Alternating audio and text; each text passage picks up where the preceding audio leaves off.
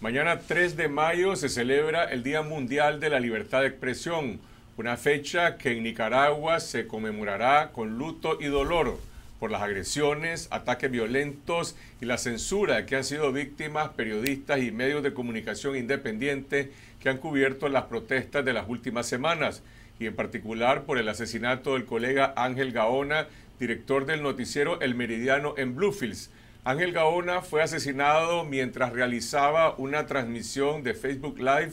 Murió de un disparo de escopeta en la cabeza el sábado 21 de abril en esa ciudad. O sea, más de 12 días desde entonces y hasta ahora no se conoce que algún sospechoso ha sido capturado por la policía o acusado ante la justicia. Esta noche nos acompaña Juan Carlos Gaona, hermano de Ángel, quien esta mañana compareció ante el Ministerio Público para reiterar el reclamo de justicia de su familia. Buenas noches, Juan Carlos. Nuestras condolencias y nuestra solidaridad con tu persona y con tu familia por el asesinato de Ángel y nuestro acompañamiento en este reclamo de justicia. Muchas gracias. Este asesinato de tu hermano se produjo hace más de 12 días. Había testigos que estaban a su lado, que estaban en la zona en que él estaba realizando esta filmación. Hasta este momento, la policía de Bluefield o el Ministerio Público en esa ciudad ha presentado algún resultado de una investigación. No, la policía no se ha pronunciado, no, no, no, no, casualmente no. Sin embargo, yo el lunes 23, en la mañana, antes del, del sepelio de mi hermano, yo fui a la policía y ellos me dijeron que ya tenían las investigaciones pertinentes, las habían hecho y tenían un avance, pero inclusive, o sea, fue porque yo fui a buscarlos y me mostraron un croquis, me mostraron ciertos avances, y, pero quedó hasta ahí, nada más, o sea, prácticamente no se han pronunciado, fue porque yo fui a buscarlos y no, no me explicaron muchos detalles nada más. El incidente en que él muere, esa escena dramática que todo el mundo ha visto, me imagino que para tu familia debe ser muy doloroso pues, ese momento en que él cae, pero lo que se puede apreciar es que él está acompañado de otras personas y no queda claro, y te pregunto si en ese momento acaso hay algún intercambio de disparos entre la policía, manifestantes, ¿cómo ocurre el hecho? Bueno, este, se ve en las cámaras, casualmente hay otra persona atrás de mi hermano, atrás de Ángel. Y, no hay intercambios de disparos. No se oye, Ángel está grabando y no se oye ningún disparo hasta que suena la detonación que acaba con su vida. Entonces no pueden decir que hay intercambios de disparos. No se me hace difícil creer o pensar que haya sido eh, la población, o sea, los manifestantes, porque a la redonda, por lo menos, a 100 metros, no hay un manifestante. Los únicos que se encuentran son los agentes policiales. Está confirmado que el proyectil que le quita la vida es un disparo de escopeta. Sí, sí. Eh, son tres los que logran impactar en la humanidad de mi hermano. Uno en la cabeza, en la, en la sien. Otro en el pecho, saliendo en el tórax. Y un tercero que entró en su mano derecha, donde tenía el teléfono. ¿La policía o el Ministerio Público han dicho algo en relación al uso de ese tipo de, de arma? Es decir, ¿quién, ¿quién estaba en control de escopetas en ese enfrentamiento, en ese momento? Las únicas personas que tienen escopetas, pues, es la policía. Con eso es que estaban reprimiendo al pueblo. Y todo dejamos en manos de Dios también, pero tenemos que hacer nuestra, nuestra labor también para, para que se aclarezcan los hechos. Los periodistas algunos colegas en Bluefield se han adelantado, al menos preliminarmente, porque no hay ninguna investigación concluyente, y señalan a la policía como, o a policías como los presuntos sos principales sospechosos de este crimen. ¿Cuál es tu opinión o la de tu familia? Bueno, en este momento no hay nada más que otra hipótesis.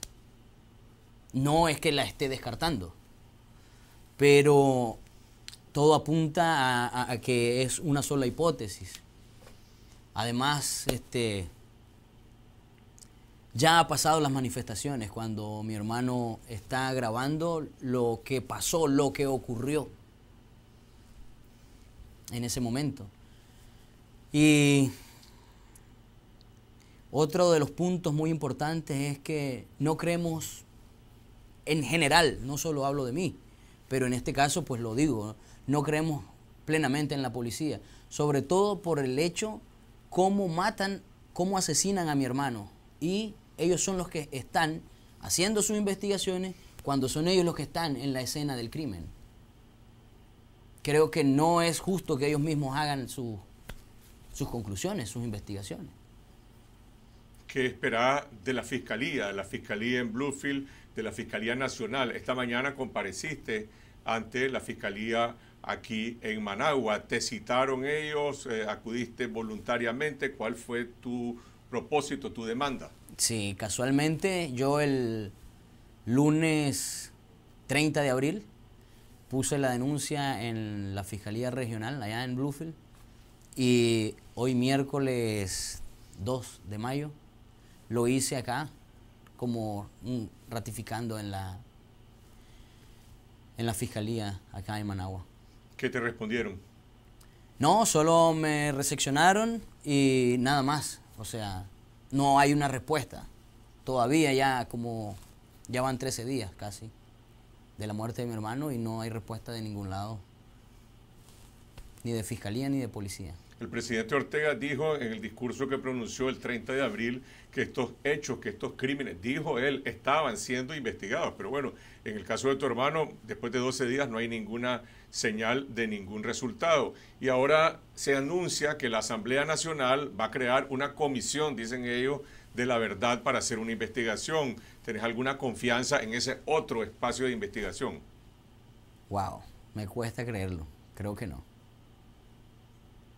no tengo una confianza absoluta.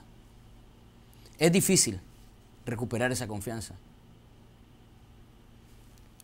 Prácticamente casi todo el mundo en Bluefield, todo el, gremio periodístico, yo soy periodista de profesión, en estos momentos no la estoy ejerciendo, pero en mi casa habíamos tres periodistas.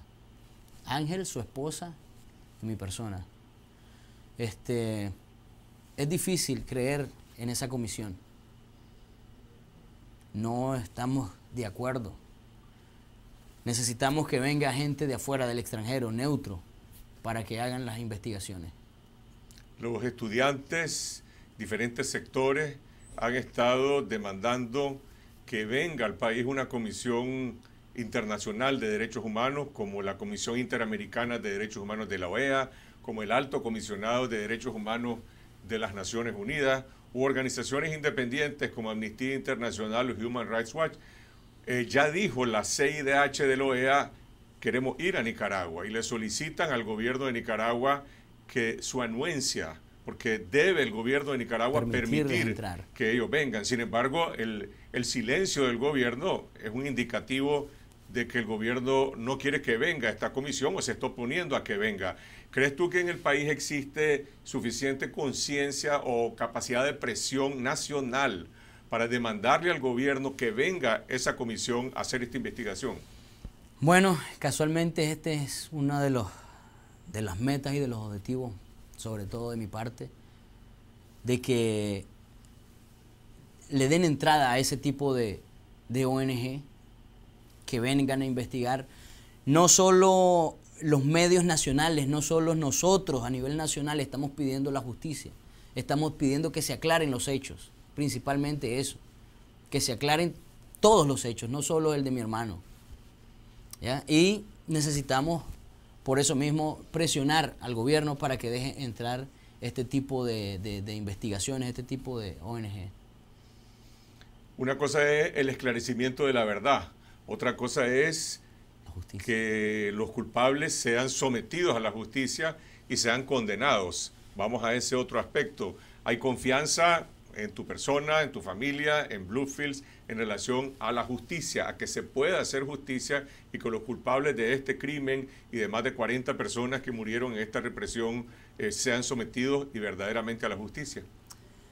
Este, casualmente, nosotros lo único que pedimos es que nos esclarezcan el caso a ciencia cierta.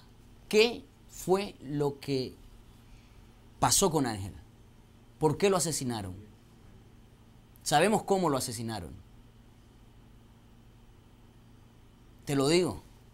Sé quién asesinó a Ángel. Pero necesitamos que ellos se pronuncien y que nos digan la verdad. La justicia se la dejamos a Dios. Mi punto de vista. El trabajo que hacía Ángel en Noticiero El Meridiano, eh, la colaboración de su esposa, tu persona, ¿cómo enfrentan ustedes, por una parte, este dolor eh, personal, familiar, y por el otro lado, pues el legado que él está dejando por las circunstancias en que lo matan ejerciendo eh, la profesión de periodista y buscando la verdad? Bueno, el noticiero El Meridiano en Bluefield prácticamente cerró operaciones. Su esposa no, no tiene fuerzas para seguir sola. El noticiero del Meridiano se cierra. Para la población tiene que ser un golpe igualmente duro, más duro para ustedes por la pérdida que han tenido, pero la gente está perdiendo también un espacio de información, un espacio de verdad. De hecho, este, el noticiero El Meridiano era el noticiero más visto en Bluefield. Lo transmitía de lunes a viernes a las 6 y 30 de la tarde. era un noticiero televisivo, lo transmitía local, en la televisión local. Y sí, era muy, muy visto a nivel local. Tenía más de 85 mil seguidores en, en sus páginas. Una pregunta para terminar a propósito de lo que estás diciendo del, del, meridiano. Cuando la noche que mataron a Ángel, yo recuerdo ese sábado en el canal estatal, en el canal 6, empezaron a brindar información de que un periodista del canal 6 o que un corresponsal del canal 6 era la víctima de este asesinato. ¿Tenía él algún vínculo con ese canal estatal? En un momento se habló, se dijo y se no sé si te podría decir se manipuló la información. Ángel no, nunca ha sido corresponsal del Canal 6. Fue un colaborador. Es muy diferente a ser corresponsal. Igual, si, si hubiera sido eh, si hubiera tenido algún vínculo con un medio oficial, igual de condenable. Igual de condenable. Sería, el asesinato periodista. Es más, si hubiera sido un corresponsal del Canal 6, pues está bien, se admite. Eso no te va a, cambiar la cara de la moneda. O sea, aquí no es que si es corresponsal de un medio de derecha o de izquierda, es el acto. Es la muerte. es el asesinato de Ángel. Y la demanda del país es que se establezca en Nicaragua una eh, una cultura, una política de cero tolerancia en contra de las agresiones hacia periodistas, sea la censura, sea la destrucción de una radioemisora, sea un ataque mortal que le quite la vida a un periodista o una agresión física o una intimidación. Así es. Y mañana es el Día Mundial de la Libertad de Expresión y por eso esta noche pues queremos rendirle tributo a Ángel, todos los periodistas nicaragüenses estamos acompañando este reclamo de justicia, eh, de manera que Juan Carlos quiero eh, terminar reiterándote nuevamente nuestra solidaridad y el acompañamiento en este reclamo de justicia. Bueno, muchas gracias por, por el apoyo, por no solo el pueblo costeño, cómo se ha volcado pidiendo la aclaración de los hechos, sino el pueblo de Nicaragua completamente. Yo creo que Nicaragua entera está de luto no solo es Ángel. Se pide justicia para todos, pero también queremos paz.